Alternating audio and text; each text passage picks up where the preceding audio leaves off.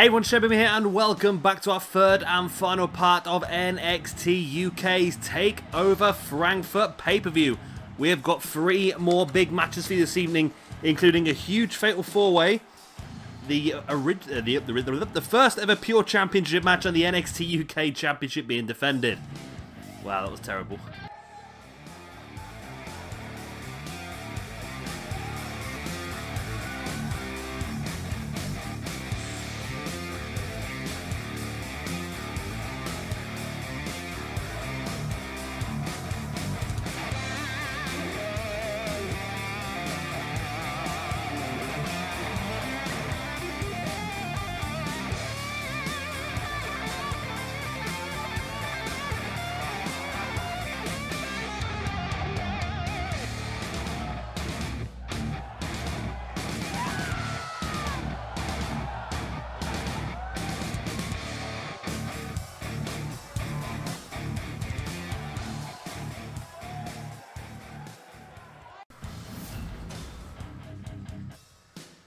And here is our first match of the evening. It is going to be a fatal four match with Rezar, Walter, Dave Mastiff, and Kassius Ohno making his debut here in NXT UK. And here we go then. First of all, in this match, we have got Walter. Second then, we have got Big Dave Mastiff. He's done okay so far. Uh, he did get a big victory over Killian Dain, but also lost to Rezar. It's a bit up and down so far for Mastiff, but great chance him tonight to get some retribution. Next up then we have got Rezar. One match, one victory so far. Of course, like I just said, against Dave Mastiff. So this could be a great chance for Rezar to have a bit of a singles run. And finally making his debut in NXT UK, it is Kassius Ohno. Of course, not from Europe, which is what this uh, brand is based around, but I feel his style will definitely fit very, very well in this roster. So yes, Kassius Ohno's here. Right then the bell goes and we are underway. Fatal 4-way elimination match. Now what we said in the previous, not the previous, the one before this video. No, that is the previous video. The previous before the previous. What we said in part one of the TakeOver Frankfurt event was that the triple threat match, uh, of course, between McIntyre, Balor, and Dunn, um, which of course was won by Drew McIntyre, the winner of that match will take on the winner of this match in a number one contendership match at some point in the next month. So that is what we will be doing, uh, which I think will uh, bring us some very interesting results. I think no matter what happens, whether it's even McIntyre or any of these four guys, we're going to have a very interesting challenge for our NXT UK champion which of course will be in this video as well as Travis Banks will defend against Aleister Black, who of course won the Rumble in episode number one. And also then we will see uh, the crowning of the first UK Pure Champion. Of course, the submission-only championship belt we've been sort of teasing for quite some time. We'll finally get a chance to use it.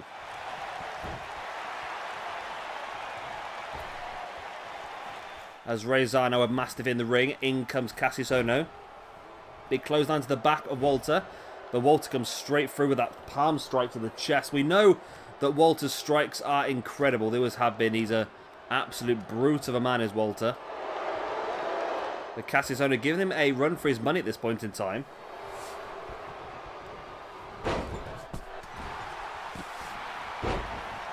Kassius taking Walter down. The referee's been flattened as well. Kassius just dropping a boot right into the arm of Walter. Some clubbing elbows. Up on his shoulders. Dropping neck first across that top. I, I would like to see Walter. I really would in the top end of this. Thing is, though, if... um, A little bit disappointing, right? If Walter was to win this match... And obviously beat McIntyre, and then Black was to win the NXT UK Championship, then TakeOver Frankfurt would have been perfect for Walter versus Aleister Black. Of course, both worked a lot in WXW. I'm sure there's more German takeovers as well, though, I think. I'll have to have a look. There's a real, real fantastic... I'm still amazed by how good this arena is, to be honest with you. It's a really, really good arena. I really do appreciate this arena a lot. Whoever made it is absolutely uh, fantastic at doing this sort of stuff.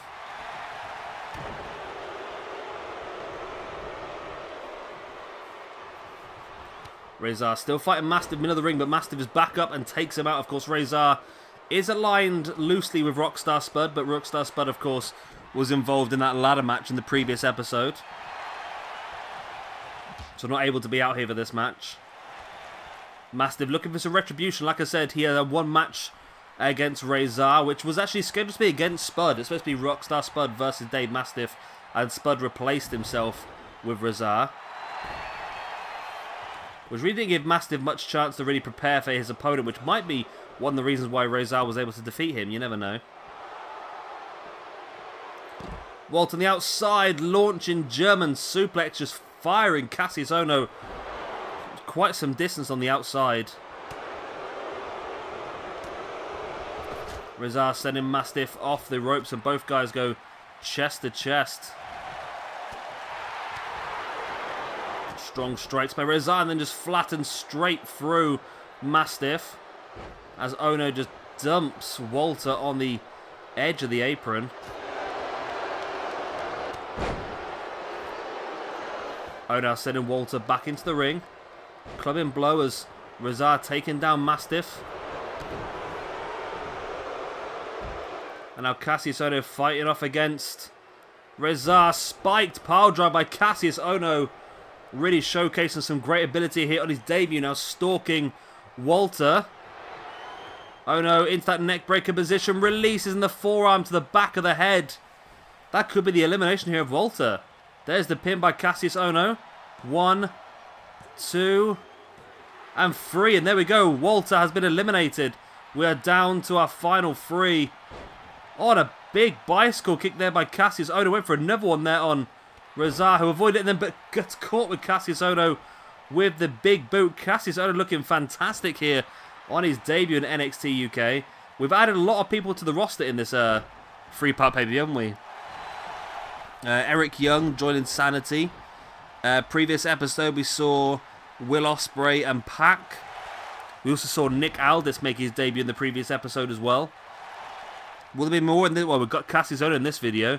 Will there be any more joining the roster? Discus Lariat there by Dave Mastiff.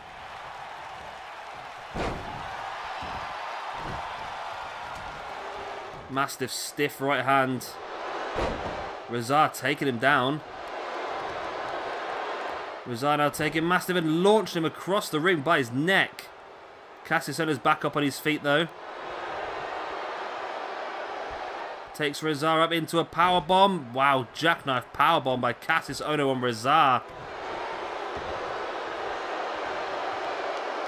Wrenching back at the arm of Dave Mastiff and Ohno really has looked dominant in this match so far.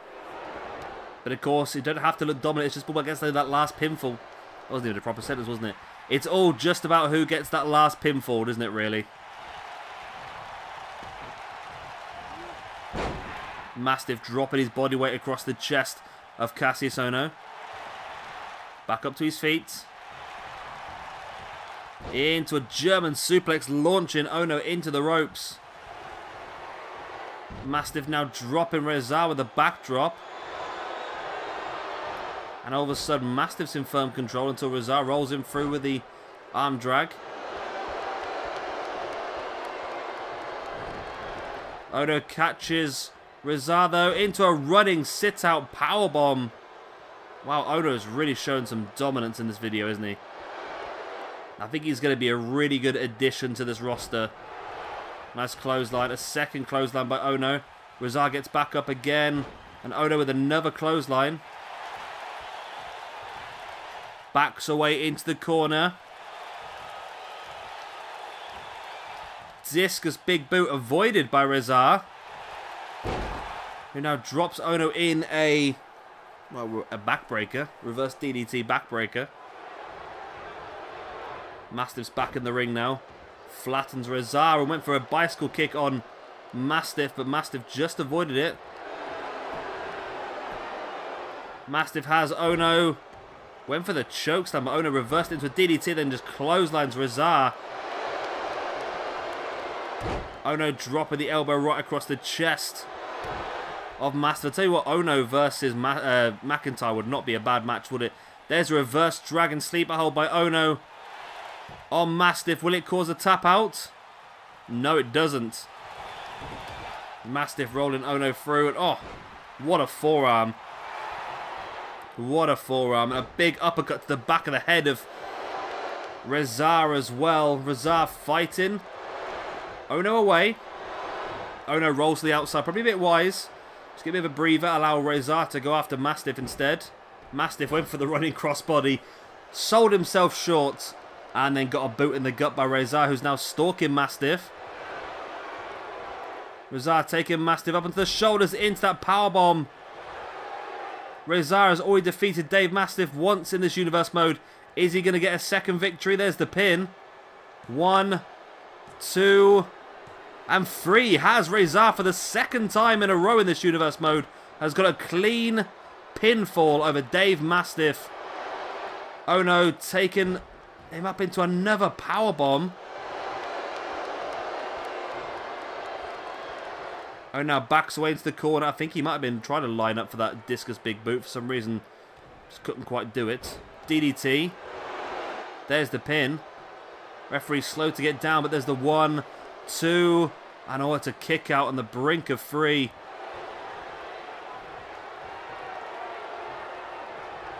Oh no, now in the corner, stalking Rezar.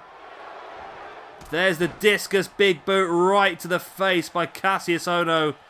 Surely he's just got to go for the pin here. He doesn't go for the pin. Why?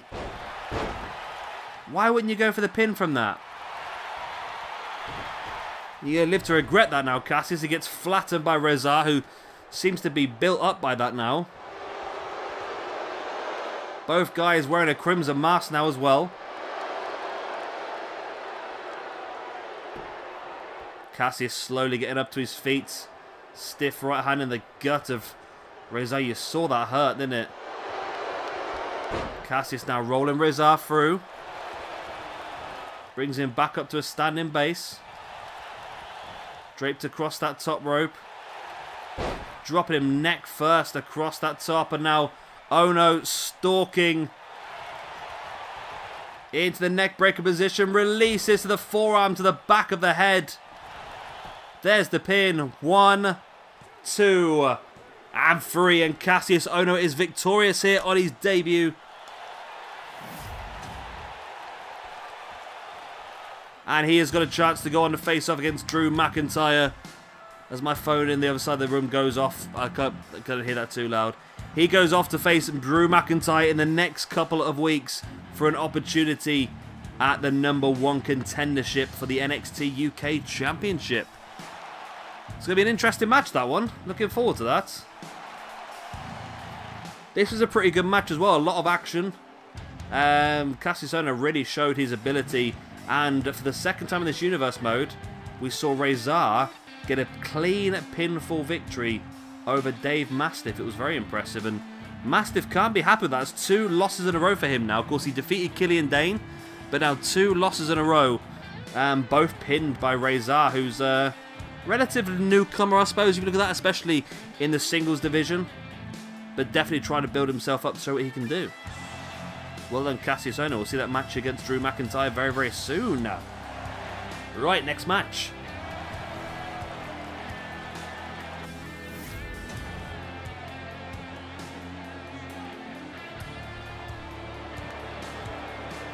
And here is our second match of the evening. In this one, we're going to be crowning our first British Pure Champion. Now, this man right here defeated Jack Gallagher a couple of episodes ago. And since then, he has been absolutely hounding me, telling me there's nobody on this roster more deserving of this championship than he is. And to be honest, the two people I first put in mind for this championship were both Jack Gallagher and Noam Dar. There are other people as well that could really fight in the submission division. However, I have recently come across somebody brand new, somebody who I think is perfect for this, somebody who I think is really going to give Noam Dar a run for his money. And Noam wanted the championship just to be handed over to him, but he's going to have to fight for it, especially when he faces off against this man.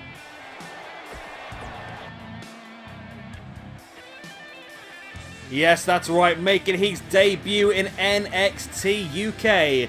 We have got Zack Sabre Jr., the man this championship is designed for, really, isn't it? A submission specialist in a submission-only championship division. Zack Sabre Jr. is going to be absolutely lethal. And can he walk away with the championship here tonight in his debut?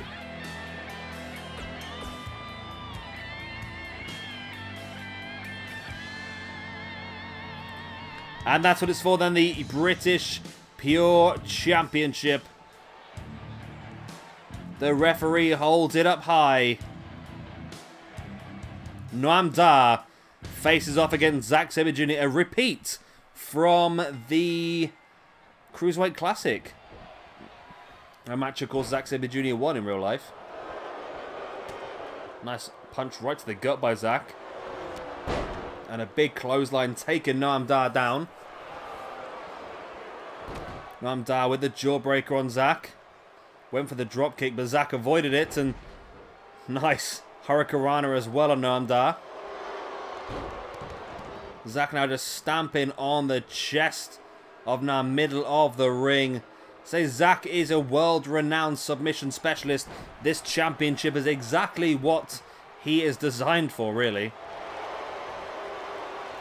Again, another Hurricanrana by Zack.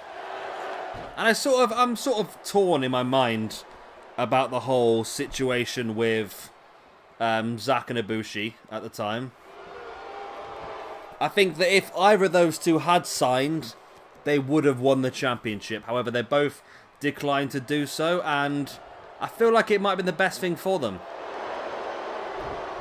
I mean, Zack now is fighting in the main event of New Japan. You've got Kota Ibushi also fighting that top end of New Japan as well. Whereas if they were in WWE, where would they be now? Lost on 205 Live? Released like Neville? Austin Aries? Until they finally get the idea that th having this Cruiserweight brand as something completely separate from the rest of the show I, yeah, until they realise that's not a good thing, I think it's not going to work for the bigger names. It works fine for people who are cruiserweights and happy just being cruiserweights, but for people like Aries and Neville at the time and would be with Zack Sabre Jr. and Kota Ibushi as well, they don't want to be solely stuck as a cruiserweight. They want to be able to show themselves up and down the card against lots of different types of opponents. And I think as much as I would love to have seen Zack Sabre Jr. sign for WWE and get to see him week in, week out, the fact that um, we didn't means it's better for Zack and we're getting better matches for Zack as well. As Noam Dar showcasing some great ability. There's the drop kick, but Zack just slapped him away and caught him with a single leg drop kick of his own. Brings Noam back up to his feet, but Noam fighting back with the jawbreaker then into a crucifix bomb. Zack trying to get himself back up to his feet, but Noam catches him. And now looking to lock in that, looking to lock in that submission. Early submission attempt here by Noam Dar. Of course, if he gets the tap out, he becomes the first ever British Pure Champion. Zack sends Noam to the outside. Big forearm. Takes him up and drops him with a backdrop right on the apron. Such a painful maneuver, that one. Of course, uh, the middle of the ring is sort of springy because it is wood. It does have a bit of a bounce to it naturally, but when you land somebody on the edge like that, that is where the steel framework of the ring is. It's absolute solid. There's no spring in that at all.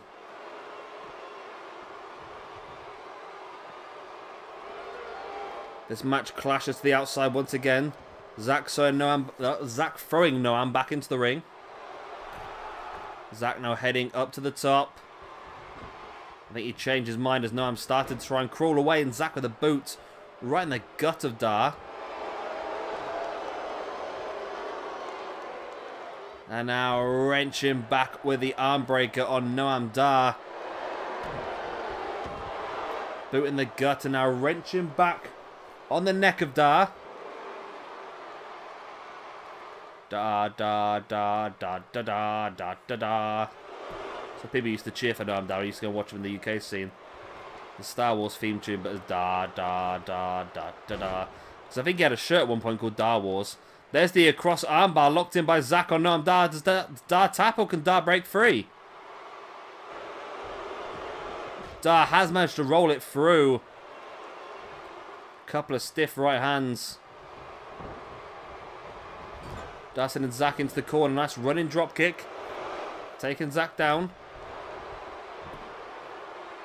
And Dar now just choking Zack with the the choke grip. Referee forcing Dar to break it. Dar and Zack back up to his feet and stiff right hand in the gut. Zack now looking for the dragon suplex, but Dar fights away.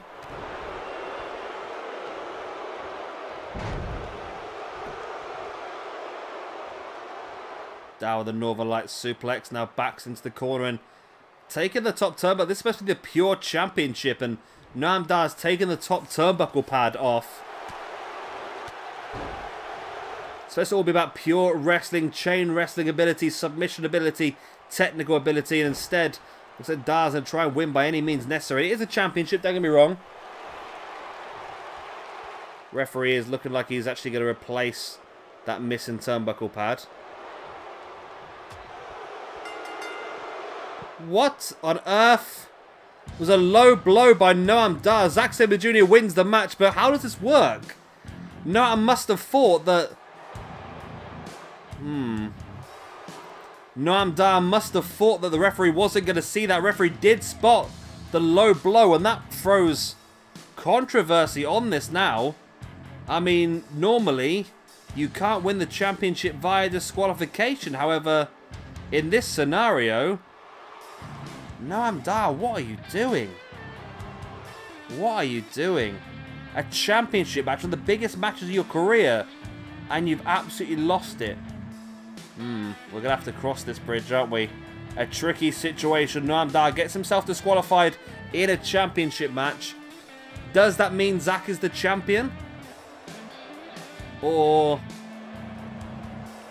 are we going to have to see another match here? I don't quite know. I'm going to leave this in your hands, I think. Let me know what you think in the comment section down below.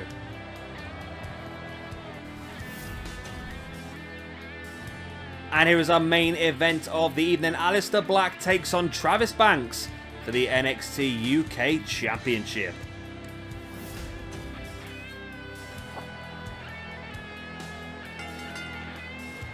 The following match is scheduled for one fall. One fall. And it is for the NXT UK Championship. Introducing first, the challenger. Slowly erecting from the ground. I don't forget where he's from. He's from Amsterdam, isn't he? From Amsterdam, Holland. Is it Amsterdam, Holland or Amsterdam, Netherlands? This always confuses me. I've always known him as Holland, but then they've been known more as the Netherlands. It's, it, I don't know what the difference is, to be honest with you. I really, I think the Netherlands just sort of covers a few islands as well, I think. I'm not sure. Who knows? There is then your challenger. Won the opportunity to fight for this match when we had our 30-man roster reveal at the very beginning of this series. Uh, he entered, I think, at like number 26 and won the Rumble. So Aleister Black gets his opportunity here to fight against the champion, Travis Banks. And here is Travis Banks.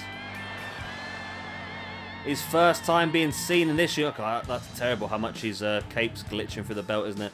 First time we've seen him so far in this universe mode. Of course, he was prevalent in our original NXT universe mode.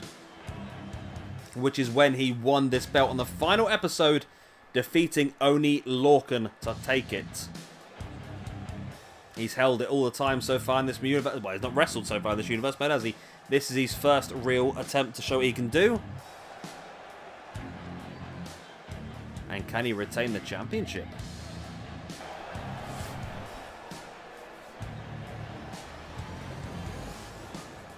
And that's what it's for then, the NXT United Kingdom Championship. We have got Aleister Black, who made his debut in WWE, I believe, in the original United Kingdom Championship tournament, I believe, wasn't it? Is that correct? Uh, he did he um, accept an open challenge from somebody? I can't remember now, to be honest with you. And Travis Banks as well, who I feel like is a is a future WWE United Kingdom champion. Be interesting to see who the first person is to get a feud against Walter, wouldn't it really? But I definitely think Banks could be an option for that. Banks is signed, isn't he? I'm sure he is. He was part of the tournament, so I'm pretty sure he must be signed. Travis Banks Hans, Hans hands over the championship to our referee here for our main event of NXT TakeOver Frankfurt. The referee holds that championship up high.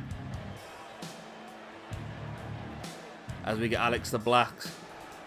Aleister Black versus Travis Banks. I'm, I can not talk at all today, I'll tell you. So this is Banks' first proper championship defense for this championship. And it's not exactly giving easy, was it? Aleister Black, absolute stunning. One of my favourite wrestlers in the entire world. It's just so cool. He's just so cool, it's unbelievable. And he has a chance to walk away here as the main event champion. The champion of the entire brand. Which is exactly where I want to see him. Nice DDT there by Aleister Black. Who has dominated the uh, majority of the match so far. He backed away to the corner. He's not he's not going to squash him here, is he, surely? The way he backed into the corner made me feel like he was going to look for one of his special maneuvers.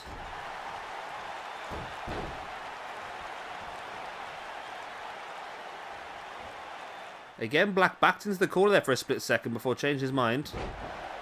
Banks is finally looking to try and get some offense in this match, but it's not really worked out to him too well, has it? As Aleister Black once again, Saito suplex. It's like Black has taken Travis Banks to Suplex City here, isn't he, really? Big boot against the head and Bank with a few strikes. Sending Black off the ropes. Black jumped over the top. Ducks underneath. Then ducked underneath again. And then a big boot right across the chest. And a lionsault by Aleister Black as well. Who is really dominating this match at this point in time. There's a one count. Misses the kick to the back and Travis Banks with a reverse Rana. Finally getting some offense. Didn't last very long, did it? Spinning kick by Aleister Black. Just twisting the neck now. Oh, really wrenching the neck of Travis Banks before stalking. Really? Black Mass already. Black Mass hit by Aleister Black. One, two. Wow, that would have been dominant. That would have been. But Aleister Black looking so strong here tonight. Black another Saito suplex.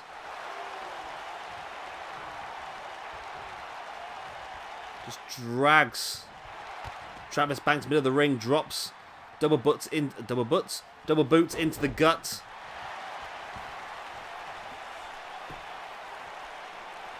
Banks now bringing Black back up to his feet, looking for the Northern Light suplex. How is Banks even moving at this point in time? I mean, I know if I'd taken a black mass, I wouldn't be moving for about a week. Dragon suplex there by Travis Banks as well. A boot right in the gut of Aleister Black. And finally, Banks getting some offense. Sustained offense as well.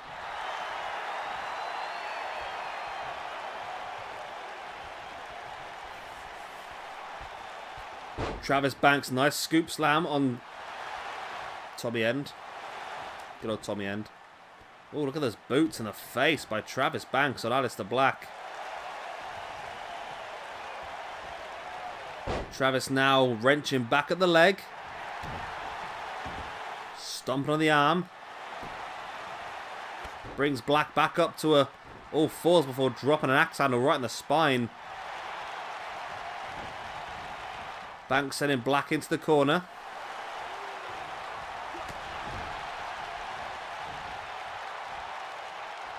Oh, nice. Spun him round and dropped to that combination backbreaker cutter.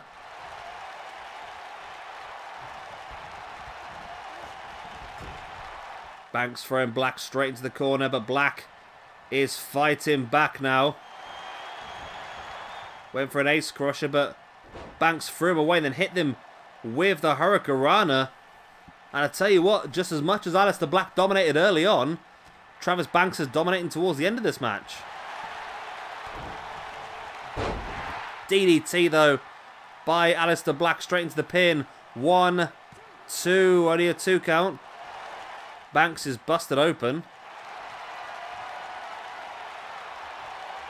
Aleister Black now bringing Banks back up to his feet. Black Mass for the second time in the match. And surely one, two, and we have a brand new NXT UK champion in Aleister Black. What a match. And it was an interesting one, really, because that victory sort of came from nowhere. I mean, Black hit the... He hit the fade to Black very early in the match. Then Travis Banks dominated for quite a prolonged period of time. Then just out of nowhere, two or three moves, culminating in a Black Mass, wins Aleister Black the NXT UK Championship. There we go, brand new champion. We've had a lot of brand new. We've got brand new champions everywhere, haven't we? So we've got Tegan Nox as the NXT UK Women's Champion. Jordan Devlin is the British Lightweight Champion. Uh, the Grizzled Young Vets are the NXT UK Tag Team Champions. Aleister Black is the NXT UK Champion. And I feel like we're going to have to give Zach another opponent because I feel like when the championship is called the Pure Championship, giving it to someone based on a disqualification just sort of cheapens the belt. So I believe maybe Zach will face off against somebody maybe in our next video to uh, reinforce his position as the champion, but who knows. Anyway, of course, if you've enjoyed this video, please do hit a like and, of course, subscribe if you want to see some more. I've been Champion Gamer. Thank you much for watching, and I'll see you next time. Bye.